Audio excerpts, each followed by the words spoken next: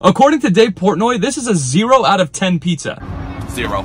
First time trying Blaze Pizza. This actually doesn't look bad. Let's just try a regular cheese pizza to start.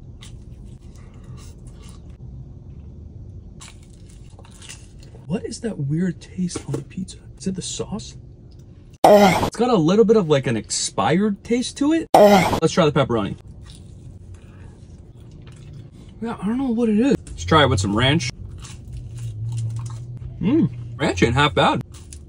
I actually think the dough is the best part, except I don't love when my fingers look like this after eating pizza. The sauce or the cheese, or maybe even both, tastes a little funky. I honestly thought I was gonna give this in the sixes. Give this a 4.5 out of 10. I probably would never come back here.